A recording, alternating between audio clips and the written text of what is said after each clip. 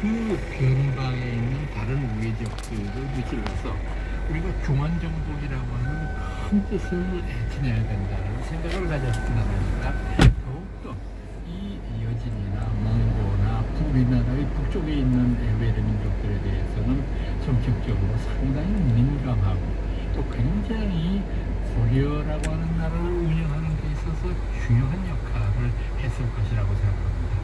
그에 반해서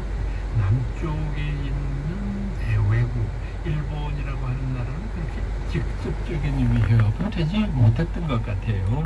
고려의 하반기부터 아주 극성을 부리기는 합니다. 외국가 때로 몰려다니면서 노략질을 하고 사람을 죽이고 하는 일들이 많이 있어서 결국은 조선 태조 이성계가 국민적인 신망을 모으게 되는 것도 관군이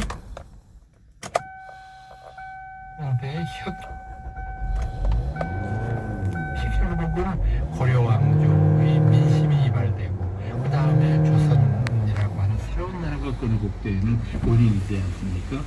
이제 이런 것들로 봤을 때에도 굉장히 일본에 대한 정책도 북쪽에 있는 국가들만큼 중요하지는 않았지만 소중했을 거라고 생각을 하고 주목을 하는 것은 여기에서